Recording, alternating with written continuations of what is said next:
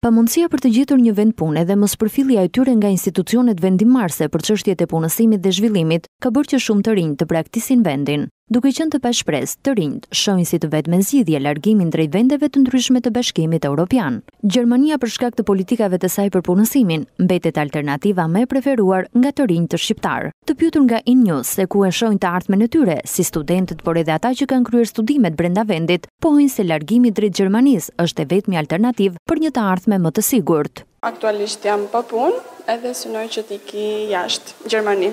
siç po bën dhe shumica e infermierëve. Jam duke ndjekur kursin dhe jam në përfundim të tij.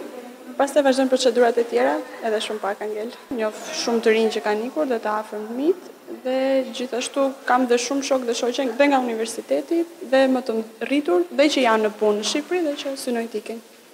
Ke tentuar për një vend pune këtu?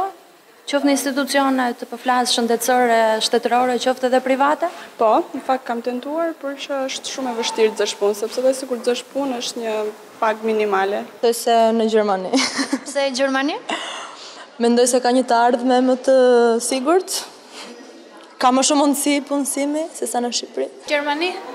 Pse pikërisht Gjermania? Ka ka më shumë mundësi me shkollimin që kam bërë.